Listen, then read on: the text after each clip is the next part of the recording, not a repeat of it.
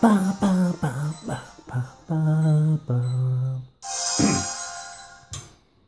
because FF1 music can be cool.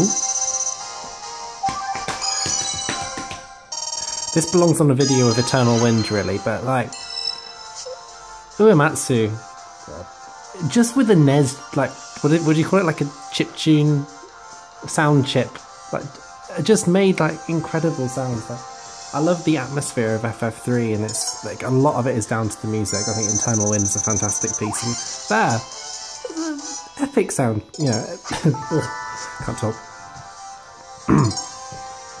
really epic track. I can't really remember. I don't think I've heard the original chip tune version of it, but it's great. Simple, works. For 1987, pretty damn good. Thanks for watching, as ever.